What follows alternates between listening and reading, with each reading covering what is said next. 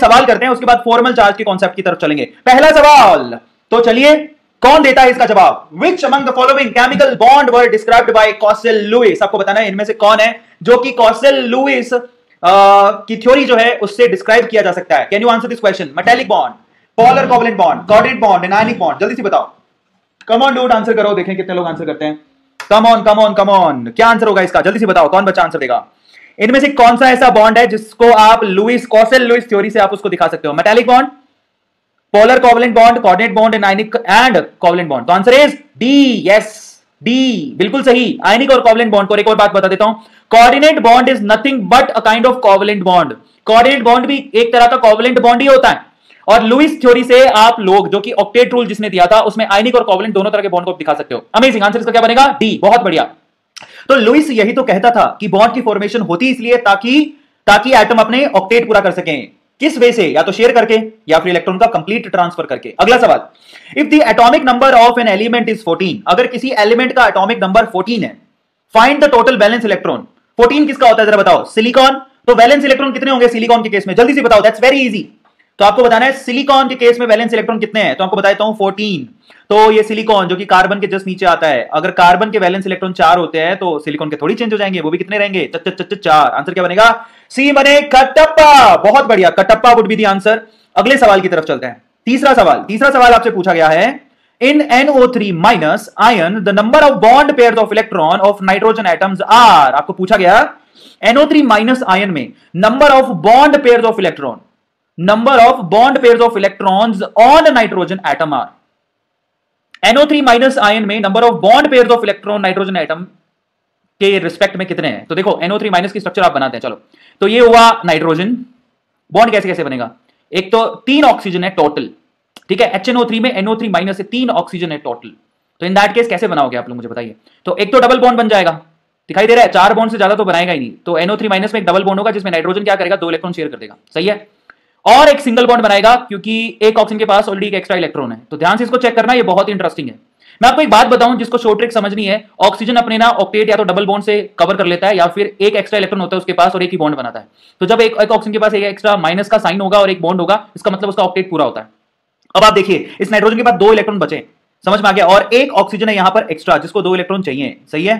तो in that case क्या होगा आप खुद ही बताओ यहाँ पर एक कोऑर्डिनेट बॉन्ड बनेगा और यहाँ पर वो दोनों इलेक्ट्रॉन शेयर हो जाएँगे। समझ में आ गया? तो जो स्ट्रक्चर बन के आएगी वो कुछ ऐसी होगी। नाइट्रोजन डबल बॉन्ड यहाँ पर बनाया है, ऊपर वाले ऑक्सीजन ने। यहाँ पर एक कोऑर्डिनेट बॉन्ड है, ये ऑक्सीजन हो गया बेसिकली आया सबको समझ में? और एक सिंगल बॉन्ड है, ये ऑक्सीजन हो गया माइनस का साइन हो गया। अब आपको पूछा गया नंबर ऑफ़ बॉन्ड पेयर बताओ।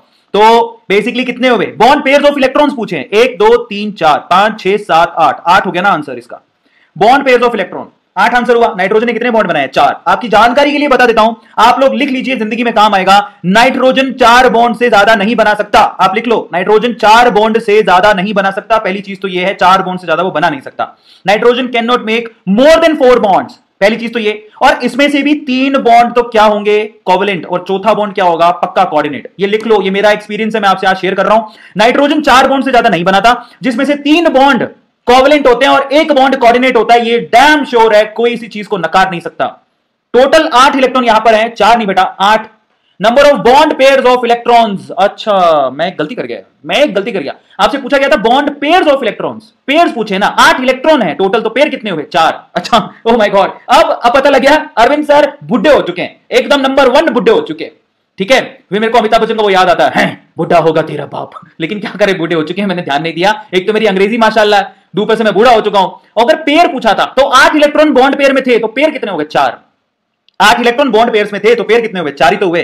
तो आई एम सो सॉरी मेरे प्यारे बच्चों टोटल पेयर चार हुए, है ना?